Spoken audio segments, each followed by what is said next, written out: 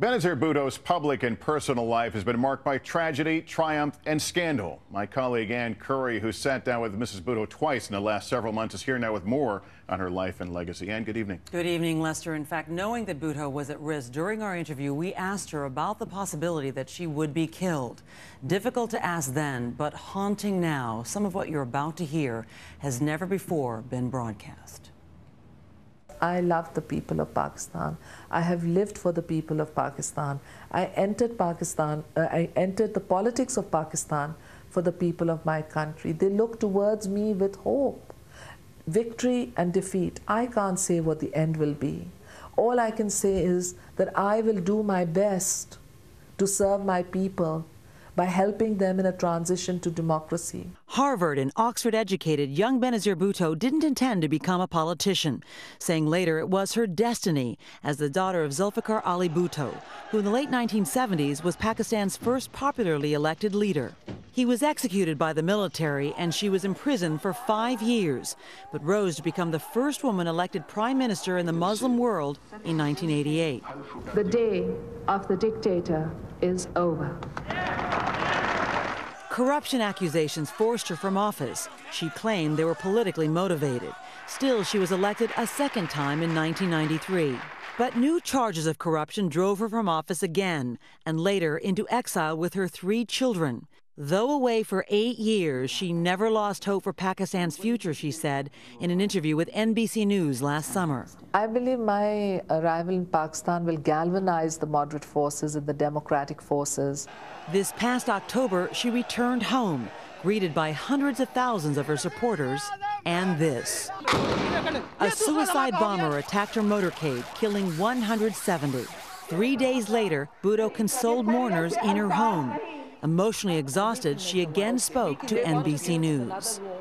What if you die here in this effort? What if your life is taken from you and the suicide bombers are successful? Will it have been worth it? Well, everybody has to die one day. I certainly hope I don't die. I remember my father when I saw him. He told me I never saw any of my children married. In my last, in the last day of his life, he said, I never saw any of my grandchildren.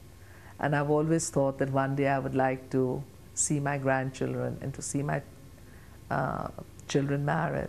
So, of course, I pray not only for my own life, but for the life of all my supporters. But will it have been worth it to have lost your life here for this cause? I have a choice to keep silent and to allow the extremists to do what they are doing, or I have a choice to stand up and say, This is wrong, and I'm going to try and save my country.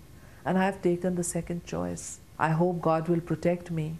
But at the end of the day, I can't keep quiet when there's a threat to take over my country. Bhutto believed that threat came from the same Islamic extremists who are now suspected of having a hand in her death, Lester. She did not seem like a woman afraid. And Ann, we're joined here by our colleague Richard Engel, our Middle East Bureau Chief, who's here in New York on the holidays. You both have seen how accessible, in fact, the last time you two were together was in Islamabad. You saw how accessible she was then. Was there a sense that it was inevitable that it was going to end this way for Benazir Bhutto? She certainly took a lot of risks. And when I heard the news, I, I was not surprised at all she had to go out in these public rallies. This is election season right now, and because of her alliance in the past and because of her alliance with the United States in particular, she needed to galvanize public support. So in a degree, she took a lot of risks, but she probably had to do them. And I overheard you guys talking. You talked about this at the time. We did. We got together. We were looking Not at each surprised. other, and we were saying, you know, my goodness, I mean, the risk she's taking, uh, and then she insists on being here and staying here, even after that first suicide attack uh, in what in, on October uh, 18th. What happened today was what they failed to do in October. That time there was just a suicide bomber who attacked her armored convoy. This time, the gunman rushed up fired shots at her, made sure she was dead, and then detonated the And- suicide and device. So they didn't want to make any, any mistakes this time. That's right. And the Pakistan government, she said, told her of more than one attempt on her life that was being planned after that attack. So she knew there was a constant threat in not just in one city, but in cities that she was planning to go. Someone was getting the intelligence, she said, of what her plans were. And, and Richard, let me ask you've spent a lot of time in that part of the world. We saw some of the protests immediately after today aimed at Musharraf. Does this blow back on him at some point, and to what extent? It, it certainly does, and it casts the entire political situation into turmoil. After months of martial law and questions about the elections, the process seemed to be back on track with the elections coming up very soon. Now all of that is in question. New calls for boycotts, talk about potentially postponing the elections.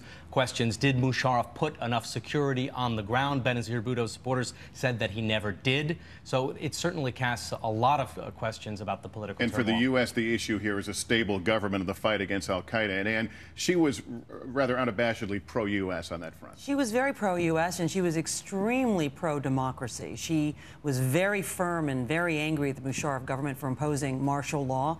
Uh, and, and in fact, it, it strained their relations dramatically. She also did something very interesting. Even before she went back to Pakistan, she named three high-ranking members of the Musharraf government and said, not the government, but these high-ranking members of the government had ties to some of these extremists that trouble the United States government. Well, good conversation. And we'll see you tomorrow morning on Today. Richard, good to have you here in New York. Thanks so much.